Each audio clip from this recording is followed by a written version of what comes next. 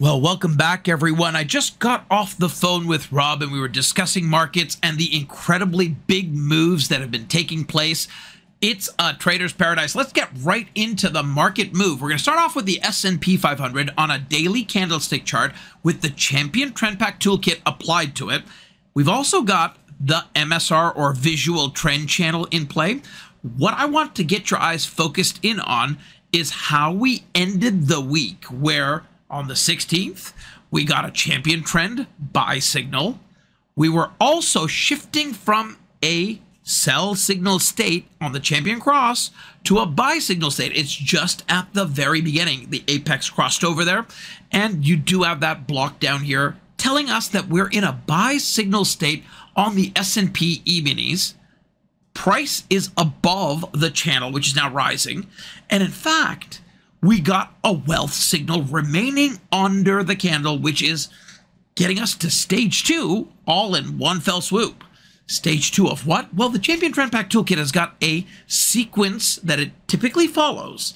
And when we go from stage one, which is Champion Trend and Champion Cross, to stage two, which usually would mean wealth signal, especially after going from red to green, we're in a much higher probability state to move to stage three. But there are a couple of conditions here. The NASDAQ has been in control of price. And the NASDAQ, as you look at it, and we're going to look at it top down, if you will, here, the NASDAQ contains those heavyweight MAG 7 stocks.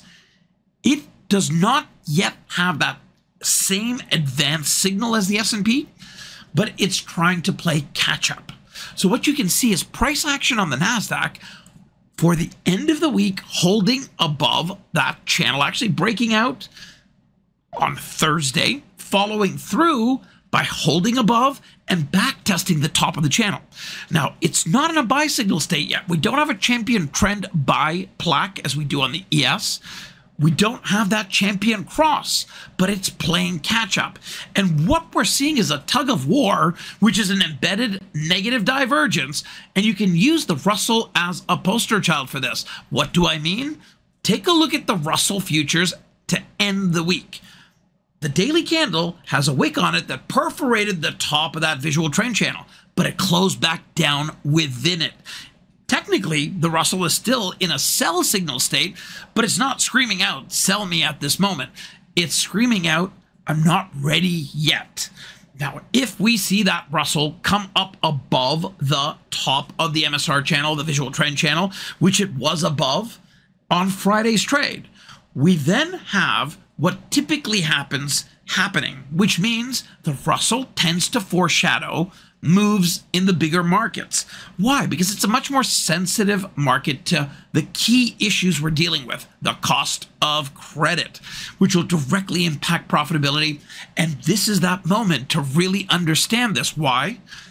We're seeing the economy signaled by consumer retail sales revised down month after month. We did beat this last week, and it generated that big breakout on Thursday, and we got some modest follow through on Friday.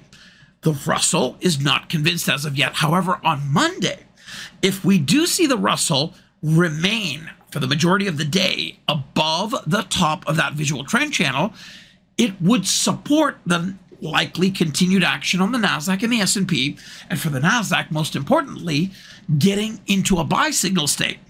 The worry at this stage is that we may have used up a lot of that rocket fuel, and you can see that on four hour charts and one hour charts. Now, I'm not going to bring that up right now. What I am going to bring up, though, is it's a trader's market. If we are able to break out and continue higher on the Russell, it's a trader's market on both the Nasdaq, the S&P, and the Russell itself. If we are unable to, or we poke our heads above and break back down a bearish reversal, it becomes a trader's market on the short side. This market is full of opportunity and, of course, risk as well. I hope that you're taking advantage of the increased ranges and over in the active trader room at becomebettertrader.com, over at WealthCharts during the hour of power. Every morning, I take the time to share with folks how I'm trading what I think is likely to happen, and we're using this suite of tools to help us understand which stage we are in in the move.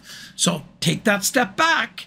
If the Nasdaq joins the S&P, it would be in stage 1, maybe even do what the S&P did, jump into stage 2 right away, which would imply that it has the chance to move up faster, tag the all-time highs. We just need to see that Russell also conform to the move.